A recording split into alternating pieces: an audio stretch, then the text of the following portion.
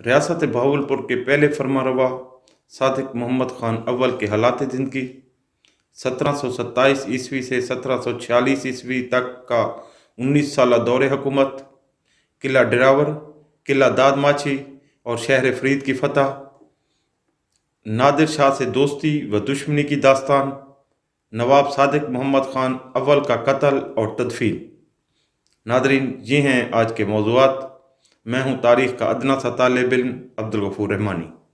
आप देख रहे हैं YouTube channel history with Rahmani. रियासत भावलपुर 1727 से 1955 तक सीरीज़ की ये आठवीं किस्त है। आप मेरे चैनल से जुड़े रहें। इन इस तरह की तारीखी और मालूमती वीडियोस बर वक्त मिलती रहेंगी। नादरीन, अगस्त 1726 ईस्वी में अमीर मुबारक खां की वफ़ात के बाद नवाब सादिक मोहम्मद खान अव्वल दाऊद पोतरों के सरदार मुकर हुए। इनके सरदार बनने से पहले शिकारपुर में दाऊद पोतरों और कल्होड़ों के दरमियान खाना जंगी हो रही थी। उन्होंने पहले तो सिला रहमी और बरदरी के हालात के पेश नज़र अपने सफ़ीर के ज़रिए कल्होड़ों को समझाया कि ये वक्त नहीं है कि एक ही ख़ानदान के अफराद बहमी दस्त गरेबान हूँ। अगर आप तनहा बगैर लश्कर के तशीफ लाते तो ये इलाका दे देने में कोई इतराज़ ना होता। ताकत के दौर पर अपने भाइयों से मुल्क छीनना दुरुस्त नहीं। इस नसीहत का कुछ असर न हुआ। शदीद लड़ाई हुई। मियाँ नूर मोहम्मद कोल्होरा ने पै दर पै हमले किए। अमीर सादिक मोहम्मद खान अव्वल ने जब महसूस किया कि कल्होड़े ताकत और तादाद में ज़्यादा हैं, मुकाबला करने का कोई फ़ायदा नहीं, उन्होंने शिकारपुर को छोड़कर 1726 ईस्वी में किला खानपुर में मुकीम हो गए। ये खानपुर ज़िला रहीम जार खाना वाला नहीं है, बल्कि शिकारपुर की एक तहसील है और सिंध में ही है। कल्होरों ने शिकारपुर पर कब्जा के बाद अमीर का फिर ताकुब शुरू कर दिया। अमीर सादिक मोहम्मद खान ने अपनी जान को खतरा में डालकर खैरपुर को भी खैरबाद कह कह दिया और दरियाओं के दरमियान एक जरखेज किता रैजी बेट दबली का इंतखब किया और वहीं क्याम करने की ठानी। नादरीन, बेट दबली डेरा गाजी खान का इलाका है। तोसा शरीफ और कोट सुल्तान के दरमियान का इलाका जो कि दरियाओं के दरमियान है। क्यास यही है कि खानपुर से निकलकर दरिया सिंध के साथ साथ कंदकोट, कश्मोर, कोटमिठन, जामपुर, डेरा गाजी खां से होते हुए बेट दबली पहुँचे होंगे। उस शरीफ के मखदूम शेख हामिद नौबहार और शेख अब्दुल कादिर जिलानी उस वक्त दरबार कादरिया गिलानी के सजादा नशी थे और उनके दाऊद पुत्रों से करीबी मरासम थे। लिहाजा इस नाजुक सूरत हाल में उन्होंने अपने असर रसूख से काम लेकर पहले तो नूर मोहम्मद कल्होरा और सादिक मोहम्मद खान अव्वल की मसालत कराने की कोशिश की, लेकिन इसमें नाकामी पर दौद पोतरों का खूब साथ निभाया और इन्हें अपने यहाँ उस शरीफ में मुकीम होने की दावत दी। चुनाचे सत्रह सौ सत्ताईस ईस्वी में अमीर सादिक मोहम्मद खान अव्वल बेड़ दबली से उच्च की तरफ़ आ रहे थे कि रास्ता में मशहूर कौमों लाड़ नैज और माछी के ज़मींदारान ने अमीर की मजम्मत की। इस मुकाबला में अमीर के साथियों ने न सिर्फ़ इस मजम्मत को कुचला बल्कि किला दाद माछी भी फतह कर लिया। कुछ दिन इसी किला में क्याम करके उस शरीफ तशरीफ़ ले गए। उच में सज्जादा नशीनों ने ना सिर्फ़ उनका ख्याल रखा, बल्कि मुल्तान के मुग़ल गवर्नर नवाब शाह नवाज़ खान, अलमारूफ हयातुल्ला खान से मुतारफ़ कराया। इन्हीं की सिफारिश पर दौद पोतरा सरदार अमीर सादिक मोहम्मद खान अव्वल को सत्रह सौ सत्ताईस ईस्वी में इलाका चौधरी मौजूदा लियाकतपुर, ज़िला रहीम जार खां बतौर जागीर तफवीज़ हुआ। उन्होंने वापस आकर इस जागीर में आबादी और तरक्की की कोशिश की। ये वाक़ इंतहाई दूर रस नतज का हामिल था, जिसे बजा तौर पर रियासत बहावलपुर की तासीस करार दिया जा सकता है।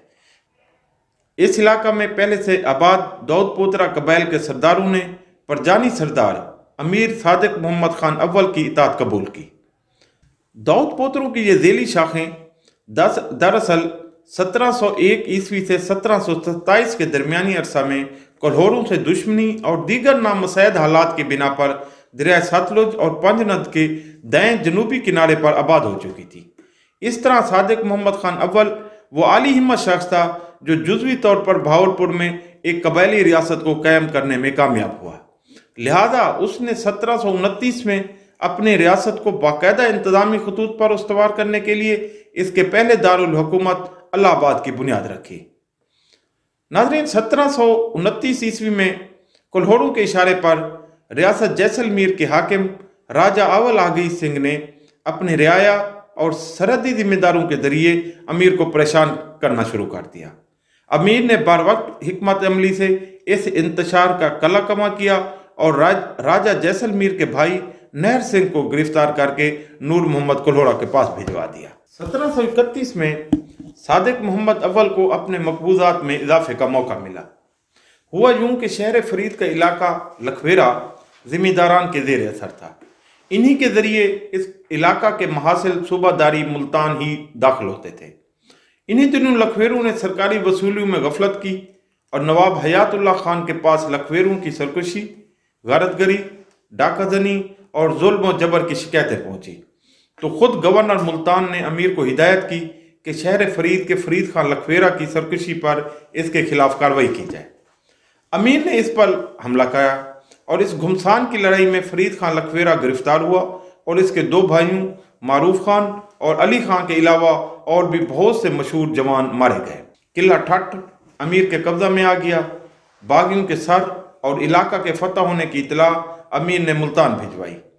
नवाब हयातुल्ला खान अमीर की इस बुलंद हिम्मती और शजात पर खुश हुआ और इस इलाका की सनत जागीर और बहुत से इनामात से नवाजा इसमें भावलपुर के मशरकी हिस्सा में मौजूद खैरपुर, चिश्तियाँ और भावल नगर के बाद इलाके शामिल थे।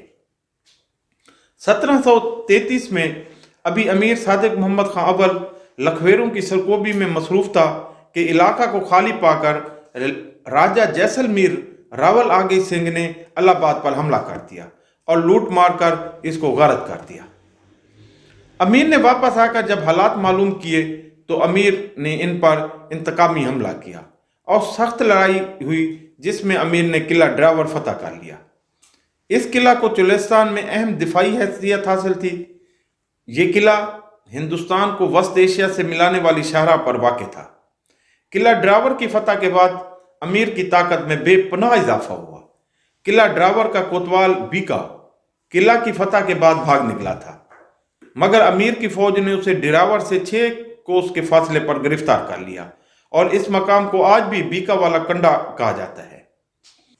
नादरीन, सत्रह में नादिर शाह काबुल से सिंध आता हुआ डेरा गादी खान और डेरा इस्माइल खान पर हमलावर हुआ।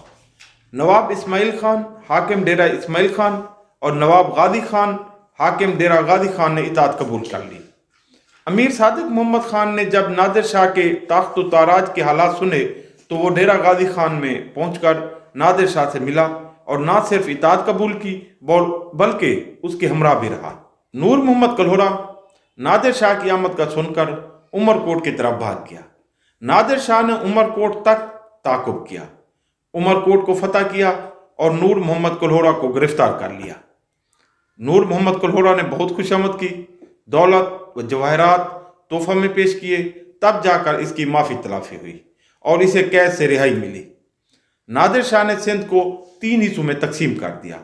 नंबर एक, नूर मोहम्मद खान कल्होरा को ठट्ठा और इसके मुदाफात दे दिए। नंबर दो, अमीर सादिक मोहम्मद खान अव्वल को शिकारपुर, लारकाना सेफ्तान और छत्तर वगैरह के इलाके दे दिए। नंबर तीन, मोहब्बत खान बलोच हाकिम बलूचिस्तान को सिंध के वो इलाके दिए जो बलूचिस्तान से मुलका थे नादरीन, इस तकसीम से नूर मोहम्मद खान कल्होरा इसलिए नाराज़ और देखता हो गया कि उसने खून की नदियाँ बहाकर शिकारपुर हासिल किया था। अब उसके हाथ से जाता रहा और दौद पोतरा अब्बासियों के कब्जा में चला गया। मगर ताज़ा हुक्म नादरी था, कुछ ना कर सका और गम गुस्सा से सांप की तरह पेच उताब खाता रहा। सादिक मोहम्मद खान अव्वल ने इस मौका को गनीमत समझा। उसने जागीर चौधरी और अल्लाहबाद का इंतज़ाम अपने वली अहद बहावल मोहम्मद खान अव्वल के सुपुर्द किया और ख़ुद अपने आबाई वतन शिकारपुर अपनी पोजीशन को मुस्तकम बनाने के लिए बाद अकाबरीन ख़ानदान के हमरा पहुँचा। नादिर शाह ने वापस ईरान जाते हुए नूर मोहम्मद कल्होरा के दो बेटों, मोहम्मद मुराद और गुलाम शाह को बतौर जरगमाल अपने साथ ले गया। ताकि इलाका में अमन और सुकून कैद रहे। लेकिन सादिक मोहम्मद खान अव्वल को इलाका शिकारपुर की तफवीज़, इंतहाई मोलक नतज का बहस हुई। हुआ यूँ कि नादिर शाह की तरफ़ से शेख सादिक को शिकारपुर के लिए निगरान कार मुकर किया गया था। उसने अपना असर रसूख पैदा करके दरबार नादरी से बखर के इलाका की वसूली महासिल की सनद हासिल कर ली और ताकत के घुमंड में आकर अमीर सादिक से गद्दारी करते हुए इनकी अहमियत को तरह तरह के नुकसान पहुँचाने का सबब बना। उसकी शरारत और इज़्ज़त दही को हद से ज़्यादा तजावज़ करते देखकर अमीर के बाद खुददार जिम्मेदारों का खून जोश खाने लगा और उन्होंने शेख सादिक पर हमला कर दिया, जिसमें शेख सादिक और उसका लड़का शेख आकिल हलाक हो गए। शेख सादिक के दूसरे बेटे शेख फाजिल ने अमीर सादिक मोहम्मद खान अव्वल की शिकायत और कत्ल शेख सादिक की इतला दरबार नादरी में पहुँचा दी। जिसकी खबर अमीर सादिक मोहम्मद खान को भी हो गई। और अमीर इस बात से सख्त परेशान हुआ कि कत्ल की दो वारदातें इसके ज़िम्मे हैं। लिहाजा उसने अपने वली मोहम्मद बहावल खान को अलाहाबाद से शिकारपुर बुला लिया और अपने दूसरे शहजादों और मस्तूरात को शिकारपुर से अलाहाबाद रवाना कर दिया। शिकारपुर में मोहम्मद बहावल खान को मुतन करके खुद ईरान रवाना हो गया ताकि नादिर शाह के दरबार में अपने सफ़ाई पेश कर सके। उधर नादिर शाह ने जब शेख सादिक के कत्ल का वाक़ा सुना तो इस बागियाना फेल की सरजनिश के लिए दरबार नादरी की तरफ़ से सरदार तहमासिब खान को अमीर आज़म मुकर करके शिकारपुर की तरफ़ रवाना कर दिया। जब ये सरदार शिकारपुर के करीब पहुँचा तो अमीर सादिक का वलीहद मोहम्मद बहावल खान तहमासिब खान के लश्कर का मुकाबला न कर सका। और मुकाबला से पहले ही चुलिस्तान के मकाम सताहा में चला गया और शिकारपुर को छोड़ दिया। तहमासिब खान ने शिकारपुर पर हमला किया। अब्दुल्ला खान को गिरफ़्तार कर लिया, जबकि गुलाम मोहम्मद खान अली बानी और शेख शाह मोहम्मद ने शाम तक मुकाबला किया। मगर जब मायूस हो गए तो फरार का रास्ता इख्तियार करते हुए किला शिकारपुर से निकलकर छत्तर की तरफ़ चले जाए अगरचे तहमासिब खान की फौज ने ताकुब किया मगर उन्होंने फौज को मार भगाया और खुद बसलामत छतर पहुँच गए। इन तमाम वाकयात को देखते हुए नूर मोहम्मद कोल्होरा ने भी शिकायत का मौका हाथ से न जाने दिया और अपने फर्जंद खान इतर खान को सरदार तहमासिब खान की खिदमत में भेजकर ये पैगाम दिया कि अमीर सादिक मोहम्मद खान तो खुद ईरान चला गया है। इसके वलीद और दीगर मुतलकिन जो अलाहाबाद में मुकीम हैं और किला ड्रावर भी उनके कब्जा में है तो बेहतर यह होगा कि इन पर हमला करके फतह हासिल की जाए। लिहाजा तहमासिब खान ने चौधरी और अल्लाहबाद पर हमला कर दिया। इस कार्रवाई में नूर मोहम्मद कलोरा, नाजिम ठट्ठा ने भी शिरकत की। चुनाचे 27 मार्च 1745 को दौद पोतरों ने रस्म जोहर अदा की और एक खूनरेज तसादम हुआ। सिंध में क्याम के दौरान दौद पोतरों ने गालबन अपनी खातन को मौत के घाट उतारने की इस रस्म को मकामी राजपूतों से मुस्तार लिया होगा, ताकि लड़ाई में किसी इम्कानी शिकस्त के नतीजे में इनकी औरतों की बेहरमती ना हो। अभी तक वली मोहम्मद बिलावल खान, जो शिकारपुर से मस्तूरात हरम सराय को चौधरी की तरफ़ ला रहा था, रास्ते में ही था कि उसने खबर सुनी कि और कमाल दानिशमंदी से और पेशबीनी करके उसने तमाम मस्तूरात और प्रस्तारों को उबाला में ठहराया और ख़ुद किला वैकमपुर की तरफ़ चला गया। नादरीन, अमीर सादिक मोहम्मद खान अव्वल जब शेख सादिक के कत्ल के मुतालिक सफ़ाई और तलाफी की घर से ईरान पहुँचे तो नादिर शाह की आतिश गज़ब को उसकी खुशखलकी और हमत अमली ने सर्द कर दिया और नादिर शाह मुतमिन हो गया। इलाहाबादी वो अमीर सादिक मोहम्मद खान अब्बासी की शिजात, मामला फहमी और फरासत पर इस कदर फरिश्ता हुआ कि अमीर को गजनी की जागीर अता करके हुक्म दिया कि सिंध से अपनी तमाम जमात को बुलाकर गजनी को आबाद करे और इस इलाके में अपनी फहम फरासत से हुकूमत करे। इस सिलसिला में नादिर शाह ने अपना एक मोतबर सरदार अस्कर अली अमीर के हमरा इमदाद और इंतज़ाम के लिए भेजा। अमीर सादिक मोहम्मद खान जब इस शान और एजाज से शिकारपुर में पहुँचा तो हालात का रंग ही बदल गया। सरदार तहमासिब खान ने, नैब फ़तेह अली खान और ख़ुद मियाँ अतर खान कल्होड़ा ने, सरदार असकर अली खान और अमीर सादिक मोहम्मद खान का बहुत लंबे फासले तक पहुंचकर इस्तकबाल किया।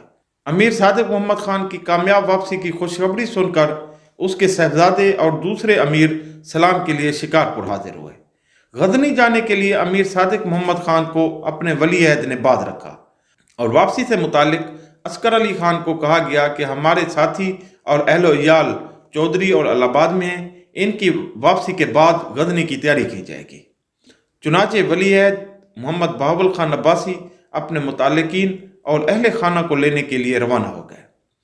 लाल सुहारा, टामरी अलाहाबाद और चौधरी से फिरोजानी, सारबानी और कोहरानी सरदानों को हमरा लेकर शिकारपुर के लिए रवाना हुआ।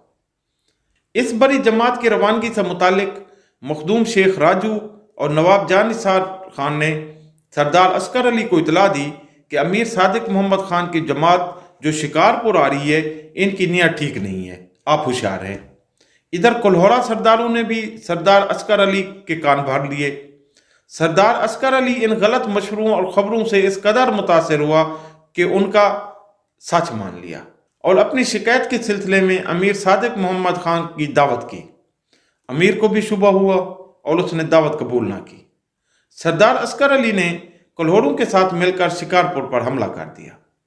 बदकिस्मती से इस हंगामा में अमीर सादिक मोहम्मद खान अव्वल को बंदूक की एक गोली लगी, जिससे वो गिर का जान भाग हो गया। इन